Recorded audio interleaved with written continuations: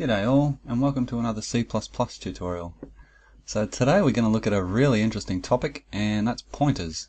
So pointers are an integral part of C++ and they're one of the biggest differences between C++ and Java. Uh, you can't really write a sizable program without pointers and in the background Java Virtual Machine is actually using a lot of pointers. Uh, the same with C Sharp and .NET.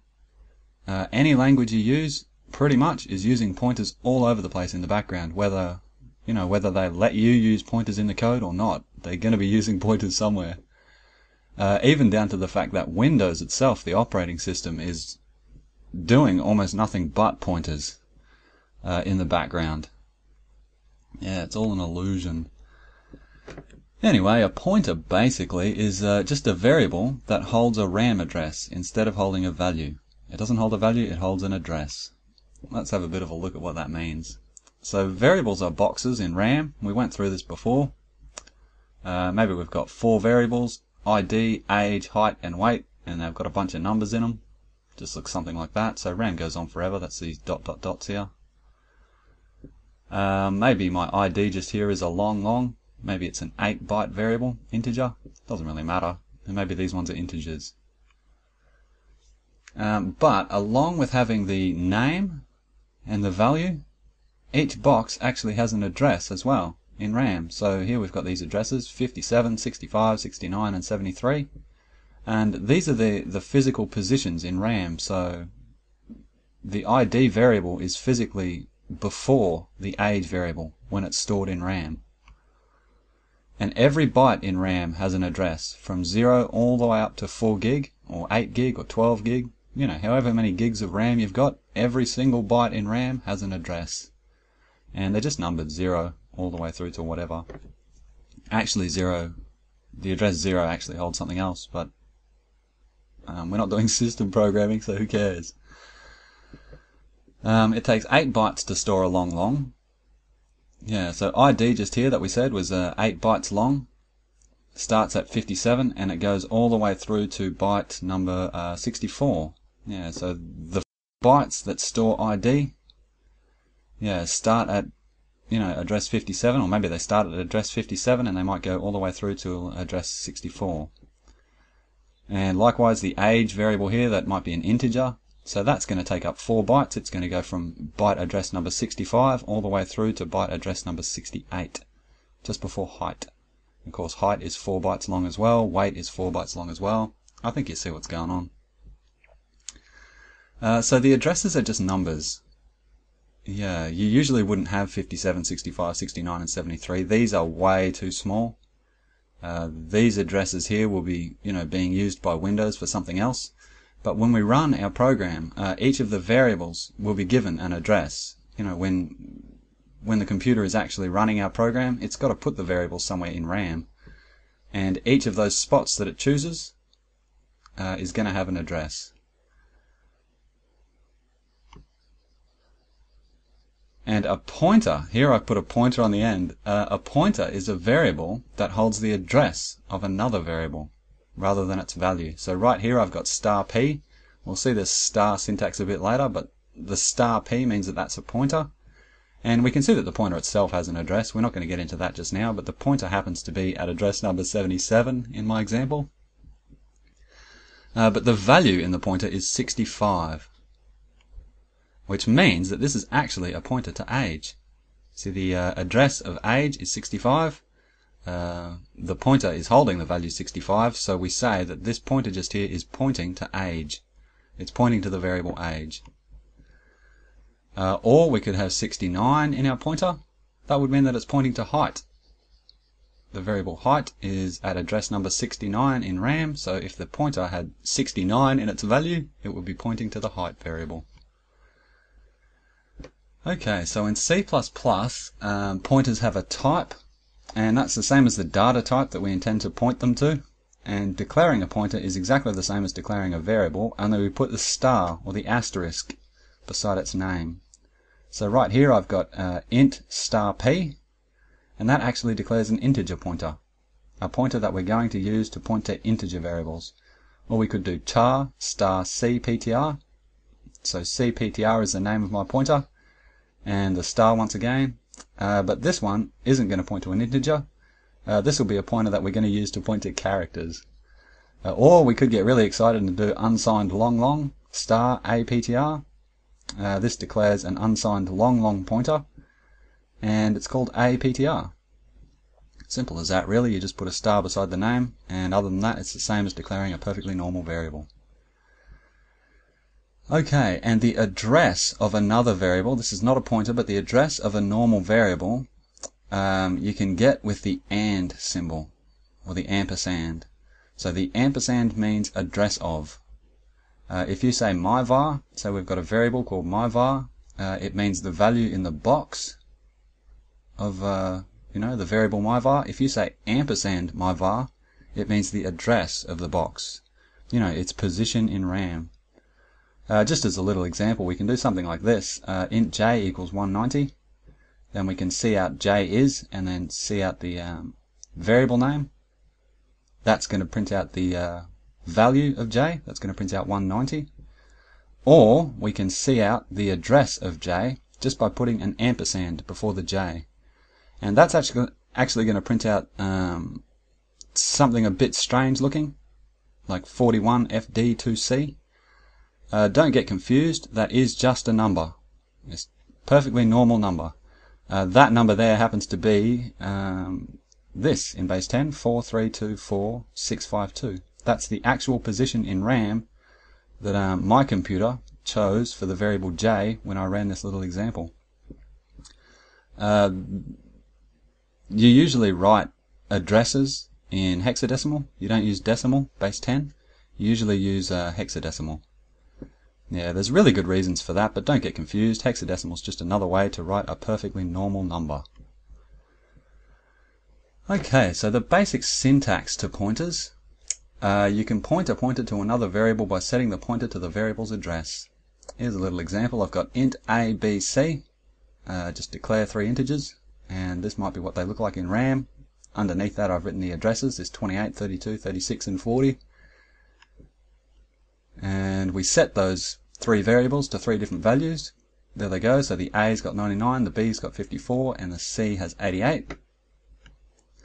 And the final one that I've done here, int star p equals ampersand a, means the value in the pointer p uh, becomes the address of a. So P gets 28.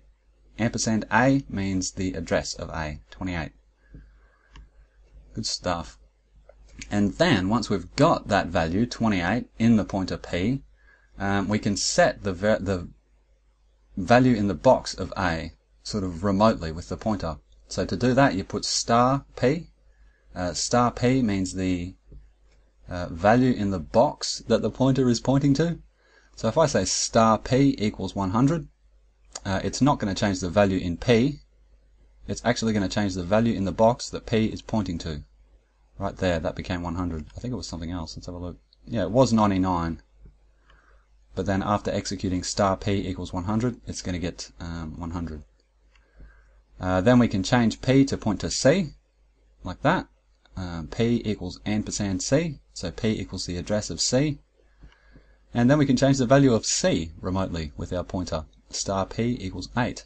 So the value in the box that p is pointing to, that's star p. Uh, that value equals 8. That's going to change the value in the box of uh, c. It's going to change the variable c. Okay, so a basic little syntax summary. Uh, int star ptr, or you know data type star, and then whatever you want to call your pointer, that declares another pointer, a new pointer. So right here I've got an integer pointer, and yeah, it's important not to confuse this star just here with the star that we use when we're setting um, the value of the box that a pointer is pointing to. Uh, this star just here is, is it's actually something quite different. You know, it just just indicates that you're not declaring a normal variable, you're declaring a pointer. Whereas this star down here means, um, you know, set the value that this pointer is pointing to. Anyway, we've also got ampersand and then a variable. So whenever you put the ampersand down before a variable's name, you actually mean the variable's address, not its value, the box number in RAM. Uh, yeah, so to set a previously declared pointer, to the address of a variable, we do something like ptr equals ampersand variable name, and that's going to set the value in the ptr's box uh, to the variable's name, or it's going to point the pointer to that variable. And finally, of course, once we've actually set our pointer to point to something, uh, you can change the value of those variables remotely using your pointer uh, with the asterisk pointer name and then equals whatever value you want. Okay, so be that as it may, uh, the most important thing about pointers is why is that useful? Uh, whenever people are introduced to pointers, uh, they usually leave the uh, tutorial sort of thinking, why in the world would that ever be useful? You know, why not just change the value of the variable yourself instead of, um, you know, instead of getting the address and changing it remotely with a pointer, why not just change the variable? So we're going to do a little example, and this might be a bit premature, but I don't care. I think it's a good example. We're going to have um, yeah, a really, really fundamental and basic but extremely common use of pointers. So imagine that we have an array of values in some little database that we're working with in RAM. Uh, maybe they're all integers, so we've got 5, 3, 6, 7, 1, 6, 9, 2, just like that. What's that? Seven different variables. Good. Good stuff. Now, imagine that we want to uh, put in another value. We want to put 78 between the 7 and the 1. So this is a pretty common thing to do. Maybe we've got an array and we want to put a value somewhere in the middle of it. You know, add a value. Um, we can't at the moment. That's an array. And the only way to add that value is to actually shift all of these four values here that are above the 7, uh, shift them to the right.